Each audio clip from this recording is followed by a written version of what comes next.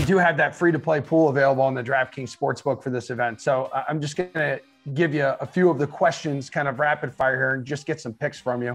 I feel like I know where you're going to go for the first one. So, will anyone eat 50 eggs in less than five minutes? Oh yeah, I I, I think uh, yeah, I, I, think absolutely at least one, or probably probably two, uh, two out of three. So, right. will Badlands Booker chug a gallon of soda in under a minute?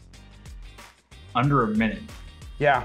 All right. Do we have any information on this? Is it out of a bottle or is it, it or is it that? Is it, uh, I don't know off the top of my head, but I can tell you that he put a time limit on it. When I talked to him, I was like, "How fast do you think you can do this?" And he says 30 seconds. He says if he takes his time, like 40 seconds. I mean, if the guy's saying it himself.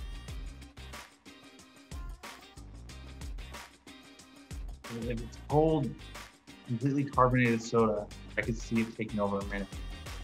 If, if, oh damn,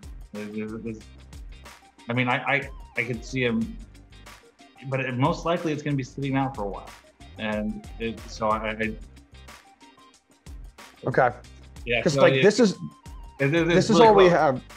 I, this is all we have right now. It says will be served in 128 ounces of soda in standardized cups.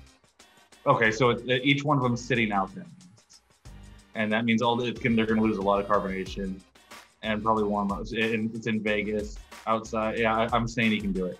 Okay. And then who will win the DraftKings World Popcorn Eating Championship? The Chestnut's making a comeback. Yeah. Ah. Oh, yeah, I'm, I'm hungry. Uh, yeah, it, it's going down.